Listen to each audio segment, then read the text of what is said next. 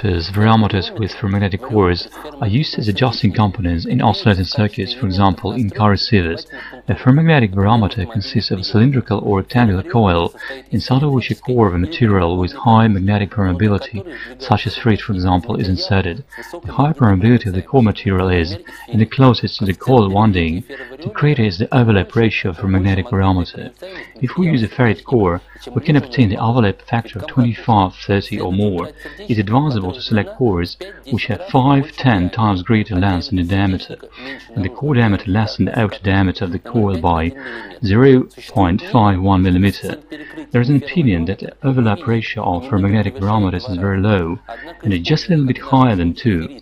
However, if we use, as in our case, a 2000 mm ferrite, we will obtain an overlap ratio of 6 or even higher. Ferromagnetic variometers may be used to adjust several oscillating circuits at a time. In this case, the alignment of, of configuration of the receiver preselector circuit and the heterodyne is usually achieved by connecting additional mating inductance coils. Therefore, ferromagnetic variometers of the preselector and the heterodyne are identical. The alignment can also be achieved by using cores of different shapes and sizes of coils with different arrangements of winds. In general, in many cases, adjustments of radio frequency equipment can be performed with the help of ferromagnetic variometers, and in many cases they are more convenient than the modern varicaps.